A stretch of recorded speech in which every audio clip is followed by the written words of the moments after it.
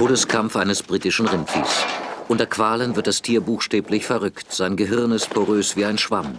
Endstadium einer unheilbaren Tierkrankheit, die auf der Insel Mad Cow Disease heißt, zu Deutsch Rinderwahnsinn.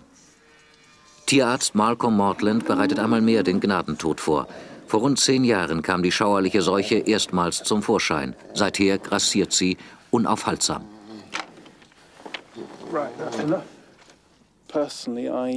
Ich habe ungefähr drei Fälle am Tag, 15 in der Woche. In England sind bislang 90.000 Rinder verendet. Die ersten Fälle tauchten auf, weil verseuchte Schafkadaver ins Futter gemischt wurden. Seither zerfrisst ein rätselhafter Erreger bei immer mehr Rindern die Nervenzellen im Hirn. Im Fachjargon heißt der Prozess kurz BSE. Die Zahl der BSE-Fälle nimmt immer noch zu, Jahr für Jahr um rund 20 Prozent. Dabei sollten die Zahlen sinken, glaubt man der Regierung, aber ihre ganzen Voraussagen und Maßnahmen sind falsch. Ein Todesfall im englischen Dorf Simister nährt nun die Furcht, dass der Rinderwahnsinn auch auf Menschen übertragbar ist. Eine Kuh des Farmers Peter Warhurst krepierte hier vor drei Jahren an BSE. Jetzt starb der Farmer an einer ähnlichen Krankheit. Sohn John hat den Hof mit 110 Rindern übernommen. Bis letzten Sommer schien der 61-jährige Vater noch kerngesund. Dann zeigten sich erste Symptome der Gehirnerkrankung. Doch zunächst nahm sie niemand ernst. Uh, Erst hatte er leichte Kopfschmerzen, dann wurde seine Sprache immer schleppender. Erst sprach er langsam, dann bekam er die Worte gar nicht mehr heraus. Er wusste, was er sagen wollte, aber er brachte sie einfach nicht heraus. Das frustrierte ihn und machte ihn wütend. Und dann wurde es nach und nach immer schlimmer. Drei Monate später war Peter Warhurst tot. Wie die Obduktion ergab, litt der Farmer an der Kreuzfeld-Jakob-Krankheit, dem menschlichen Pendant der Tierseuche. Sein Gehirn durchlöchert und geschrumpft, genau wie bei einem BSE-infizierten Rind. Fachleute schließen nicht aus, dass der Farmer sich Jahre zuvor bei seiner BSE-kranken Kuh angesteckt hat. Sicher ist, dass er lange Zeit arglos ihre Milch getrunken hatte. Der Sohn mag darin nichts Gefährliches sehen. Wir haben alle die Milch unserer Kühe getrunken. Ich glaube, jeder Farmer in diesem Land trinkt die Milch direkt aus seinem Sammeltank. Sie ist weder pasteurisiert noch sterilisiert. Diese Milch schmeckt einfach am besten. Wenn Sie mir eine Tasse Tee mit behandelter Milch geben würden, könnte ich sie nicht trinken. Sehen Sie, meine Frau zum Beispiel, sie hat gerade die Milch aus dem Tank geholt. Auch sie trinkt Milch, die direkt von den Kühen kommt. Die Mehr von den glücklichen Kühen passt längst nicht mehr zur britischen Realität. Täglich werden rund 150 verseuchte Kadaver vernichtet. Derweil bestreitet das Agrarministerium jeden Zusammenhang zwischen dem Hirnfraß bei Tieren und dem Hirnfraß bei Menschen. Seit dem Tod des Farmers sind die Beamten besonders verbissen. Jeder, der die Kreuzfeld-Jakob-Krankheit bekam, in diesem Land sind das etwa 30 Fälle pro Jahr, hatte irgendeinen Beruf. Wollen Sie sagen, diese Leute hätten sich die Krankheit alle bei der Arbeit geholt? Und wenn nicht, warum picken Sie dann diesen einen Fall heraus? Obwohl wir eine hohe BSE-Rate haben, hat sich die Verbreitung von Kreuzfeld-Jakob nicht verändert. Wir haben die gleiche Häufigkeit wie jeder andere Staat in der EG und wie jedes Land, das zuverlässige Statistiken führt. Von solchen amtlichen Beschwichtigungen halten unabhängige Forscher überhaupt nichts. Mikrobiologe Richard Lacey aus Leeds fürchtet gar, dass die Tierseuche etwa über die Nahrungskette auf Menschen übergreifen könnte. Der erste Hinweis ergibt sich aus Experimenten mit anderen Tieren. Sie haben bewiesen, dass BSE nicht nur auf Rinder, Schafe, Ziegen und Mäuse übertragbar ist, sondern auch auf Schweine und Affen. Wenn es also Schweine und Affen bekommen können, deren Gewebe unserem sehr ähnlich ist, dann müssen wir annehmen, dass auch wir anfällig sind. Their tissues are very like ours, therefore we should assume we are vulnerable. Der Seuchenerreger aus Eiweiß löst eine unaufhaltsame Zerstörung des Gehirns aus. Je mehr sich dieses abnorme Eiweiß in den Nervenzellen ablagert, desto mehr zerstört es die Zellen. Die Folge ist diese Verschrumpelung. Die Veränderung ist dramatisch, die Folgen für den Menschen sind katastrophal. Die Leute verlieren ihr Gedächtnis, sie erkennen ihre Verwandten nicht mehr, werden bettlägerig. Am Ende sind sie zu gar nichts mehr fähig und sterben in einem Zustand völligen Wahnsinns. Lebensgefährlich oder nicht, das Rindfleisch von der Insel ist ein höchst kostbares Wirtschaftsgut. Die Exportquoten sind trotz des Skandals auf Rekordhöhe.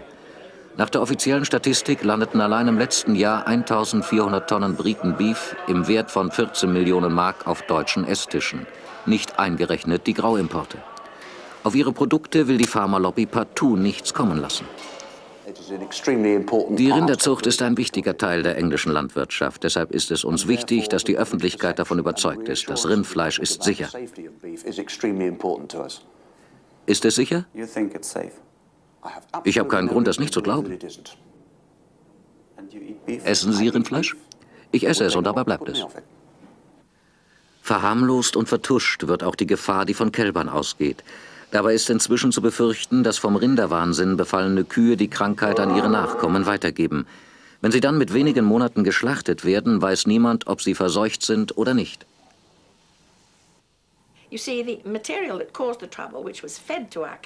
Das Futter, das die Seuche hervorrief, wurde Ende 1988 verboten. Die kürzeste Inkubationszeit bei Kühen ist aber vier Jahre. Diese vier Jahre haben wir gerade erst hinter uns. Es ist also zu früh, etwas zu sagen.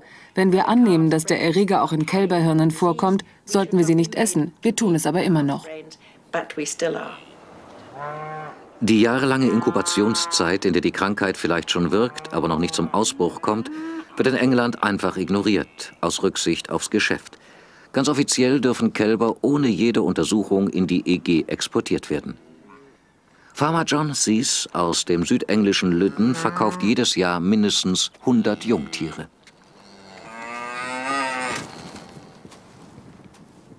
Ist es gesund? Ja. Woher wissen Sie das? Naja, er läuft, hat helle Augen, die Mutter kümmert sich um ihn und er trinkt. Der ist in Ordnung. Die Seuche in Großbritannien grassiert, doch die Veterinäruntersuchungen werden nicht etwa verschärft, im Gegenteil.